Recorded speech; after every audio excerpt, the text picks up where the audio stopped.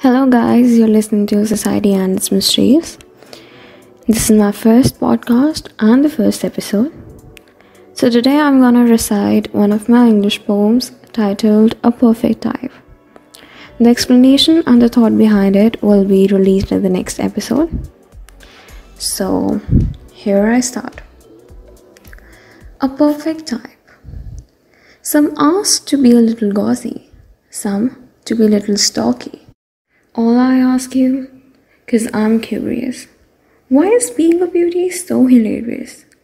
Some cope with the sums of curiosity of hypocrites standing across the street, who days ago laughed with no sense, are still now being their humble self.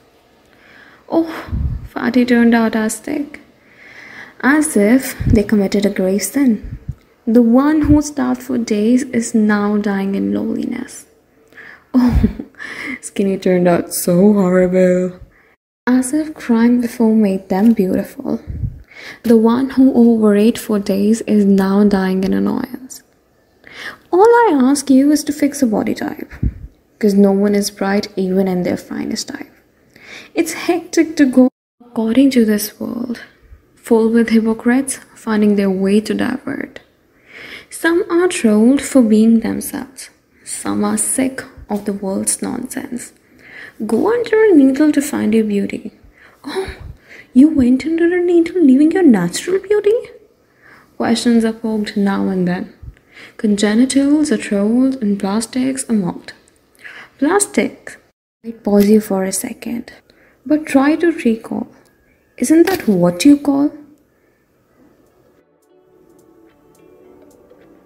Thank you for listening to Society and its first episode.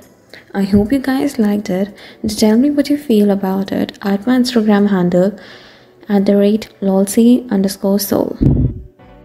Your thoughts and reviews will be added in the next episode too, along with my own explanation.